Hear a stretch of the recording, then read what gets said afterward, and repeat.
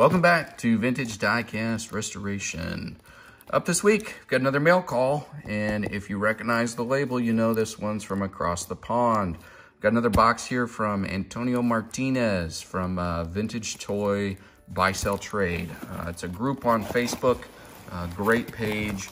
Most of the membership and posters are UK based, so for those of you that are uh, viewers from across the ocean, uh, definitely check out this group. Uh, lots of good stuff. Had uh, several very nice models and things that have come up in there and really reasonable prices. So uh, usually I try to look for models that are stateside uh, just because a lot of times shipping on these things totally kills any of the deal. But Antonio's been really great to work with, very reasonable prices in most of his listings and uh, I fill a box before I have everything shipped. So the, the shipping is much more reasonable when I break it down.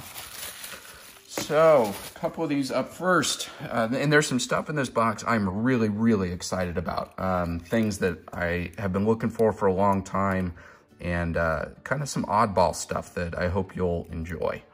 So up first here, I've got a uh, Pickford removal van. Um, most of you collectors are familiar with these. This one's in terrible shape. There's almost no original paint, but it does have the overhead door in the back and it's functional. So this one I've got big plans for. Um, if you saw one of my earlier mail calls where uh, I ordered some decals from Black Square, they have the harder to find uh, labels for some of the more rare models of these, the, the brown model of these and I ordered some of those decals up with the specific intention of doing a custom um, or a code three with one of these models. So I picked this one up specifically to be able to do that. Um, and I got a nice little surprise when it got here. This is actually a silver plastic wheel model. Um, so I think that's a little bit harder to find in, in this type. Uh, so I need to do some research and make sure that that's still something I want to do a custom with, or if I want to go ahead and do a restoration on one of these, I can go either way with it. I, I think I've got decals for, for either option, but uh, great little find. And again, true to form with uh, Antonio's listings, I think most of these things I paid less than three pounds for some of the, the nicer ones, a little better shape. Um, maybe gave three or four pounds, but uh, some of these really, really play-worn ones, I usually pick up for a pound or 50 pence. Um, and even with the dollars conversion on those, um, you know, buck, two bucks a model, and that's where I like to buy stuff. So here we've got a Husky uh, Volkswagen pickup. Um, I've kind of started picking up these Volkswagens. I've got another one of these that's actually in pretty good shape that I bought uh, from Jeff Warcol. Uh, but this one was nice and uh, very reasonably priced, so I went ahead and picked up another one. With, uh, with the VW being my channel logo, um, I just have kind of started a little side collection of any of the, the v, VW uh, diecast models, any of these older kind of mid 50s to early 60s uh, pieces. So uh, really nice little piece here, fully functional and complete. It's got the little lift mechanism on the back. It spins so uh, nice little find. Um, happy to have that. I also, this is one I'm really excited about. And, and this, when you're buying stuff online, a lot of times it's hard to see. Um, but this is a king size. And I picked up a few of these king size here lately. Uh, this one is in really good shape. It's the, uh, the D9 Caterpillar. Um, got a little high edge where, you know, some of these areas where it's missing a little bit of the paint. But um, I don't have one of these, and they, they are a little bit harder to find. And it's missing tracks like almost all of them are. Um, but I've got some of the, uh, the other king size models that would go with this.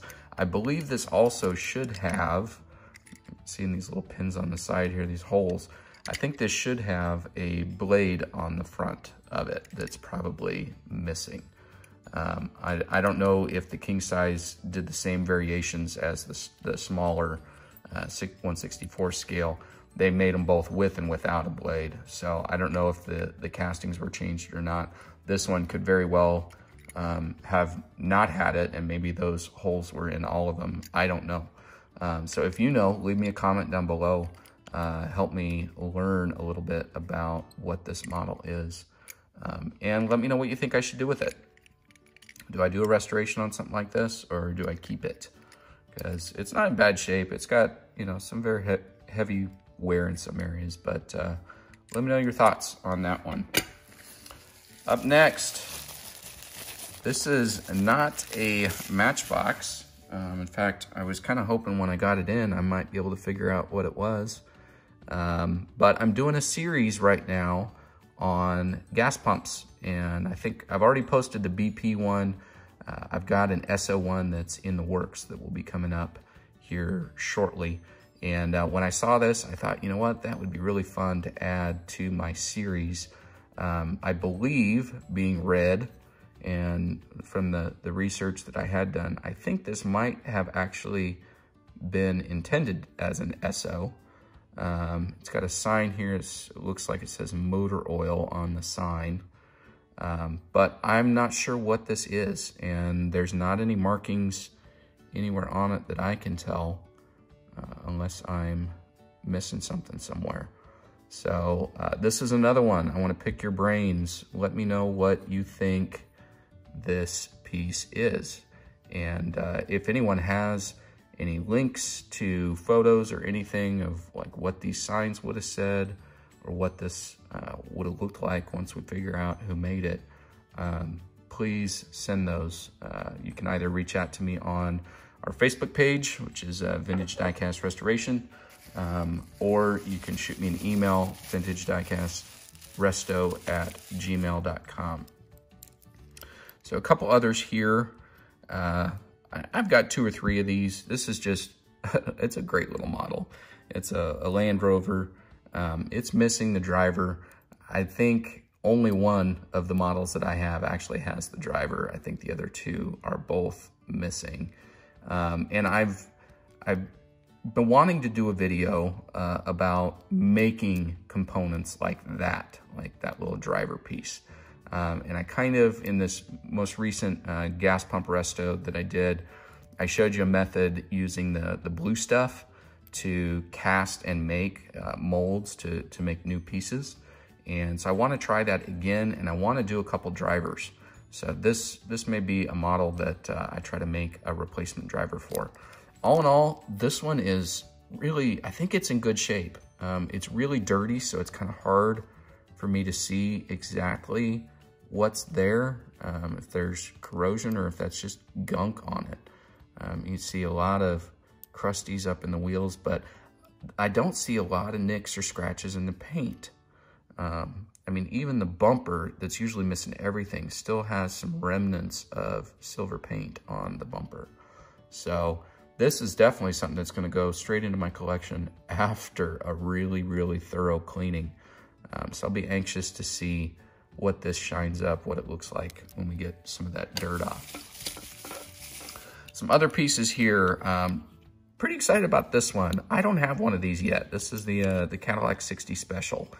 Um, and these these are high dollar cars. I tell you what, every time I see an auction or a listing that comes up, seems like these things sell in the 40 to $50 range. Um, and these, you know, obviously I didn't pay anywhere near that for this. Um, this is an overpaint. It looks like most of the original, if not all of the original paint is gone. Might be a little fleck. I think these were like a metallic pink or purple.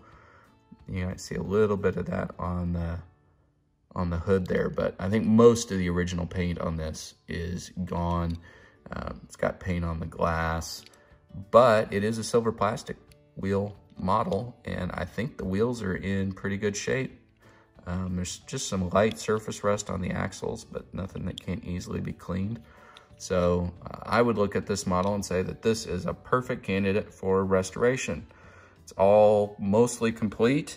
I've got some hints here and there about what the original color might have been. I can reference photos for the rest. Don't have any cracks. Um, you know, it's it's got issues, but it's all stuff that I know how to deal with. So uh, that's that's going to be a good one to do restoration on. And then last model here, uh, this is another one very similar to the Cadillac that seems like these are hard to find, the Vauxhall Crestas.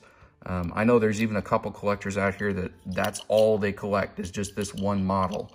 Um, and these are, are very desirable. And this one is a silver plastic wheel model. So again, a little bit harder to find. Um, and I, the reason I picked this up and got such a good deal on it, I think I paid two pounds for both of these cars. Um, but the reason was that uh, obviously most of the original paint on this is missing. Um, so I need to go back and compare in my collection because these two both sell uh, for such high prices typically. I'm not sure if I have any of these. Uh, I think these might be my my only models of this one. Um, I, I kind of think maybe I've got one of these somewhere and I, I really, I don't know that I have any of the Crestas. Um, I know these also, they had various different color schemes that were done on them. And so this one's being the all gold um, is a little bit different. So if I have others of this model, I don't think I have an all gold model. Um, this one has a few other little condition issues. The main one being the glass on the back here is cracked. Um, so that's, that's something that's pretty hard to repair. The tow hook on the back here is bent up pretty significantly. And this is a cast tow hook, so you've gotta be really, really careful in trying to bend those back because that metal will oftentimes just snap. Um, it's a little bit more challenging on something like this, but that may be, may, may not be uh, something that I try to tackle for restoration. Let's see what else we got here. Ah, the, uh, the Esso sign. Um, again, as I said, I'm doing a series on the gas pumps, and this is one, uh, I've got one, and I, I was really hesitant to do a restoration on it because it was sort of borderline. Like it, wasn't in terrible condition. Um, and I thought, and actually the decals on it were really good. And I was, I was really feeling like, you know what, maybe, maybe I just need to leave this one original. And when I saw that Antonio had one of these um, that's got a little bend to it, you can see um, a lot of paint loss on this and the decals are a little more toasty. Um, I thought, you know, let's go ahead and pick that up too. And again, I think this was like three, four pounds. Um, so very reasonable prices and Antonio's been really fair with me on that stuff. Um, interesting, in my research, you see the little hole that's here? Um, I believe that is where the original sprues were when they cast these models. And when they broke them off the sprues, a lot of times it resulted in this hole being there. And all they did was just put the decal over it um, just to hide it. And so almost all of these, even, even ones that are in very good shape, um, will have that defect in there. And I, I, had an earlier video where I talked about one of these and that was something that one of my viewers clued me into. They said, nope, the hole's supposed to be there. Cause I thought, I thought something had hit it or it was gonna be something I needed to fix. And they said, nope, they're all like that. I've got several that are like that. So um, I learn from you guys and, and I love reading your comments. So if you've got any information uh, on any of these models that you want to share, I, am always all ears. I want to want to learn and want to know as much as I can. So this one is uh, another kind of little interesting piece. Um, I don't know the manufacturer on it. It's got a patent number, 642826. They probably look that up somewhere and try to figure out what this is. Um, you can see the top here is marked raise and lower. And that's because when you pull this lever, that lifts up and down. And I'm always looking for kind of fun ways to display cars um, or you know something I can use to shoot a video. And this is just about the right size for this scale of cars. Um, I know that there was something similar to this that was in one of the play sets from Lesney.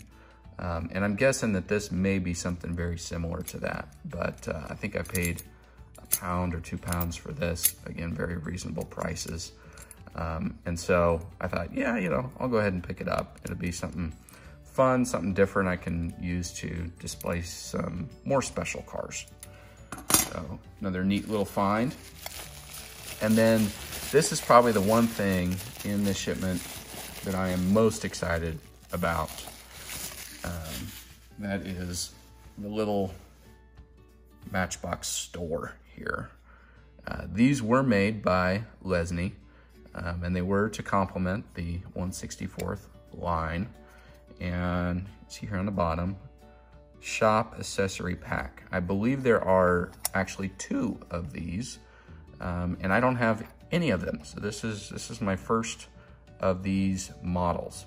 Um, and a lot of times when you find these, they are not in great shape.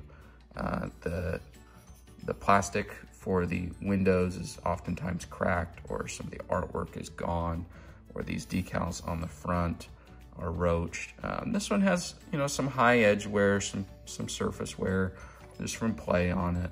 But uh, these are really hard to find because they were accessories. It was, you know, how many little boys want a, uh, a shop to go in front of their cars?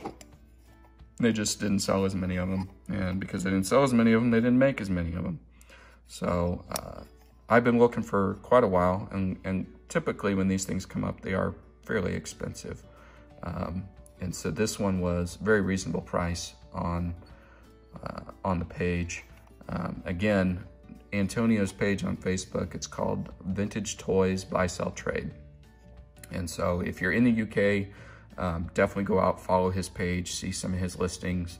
If you're in the US, still go out and follow his page because uh, his international shipping is very reasonable. I think it's been like 12 to $15 depending on the size of the box and, and what I've gotten from him. So definitely, definitely worth, uh, worth doing still. Um, so very excited about this just because it's been something that I've been looking for for a long time and I bought it for a great price. So very, very happy to add that to the collection. And that's going to do it for this week. Thanks so much for joining me for this mail call. As always, leave me your comments below. You want to keep up with us, click that subscribe button, and join us next week for another Vintage Diecast Restoration.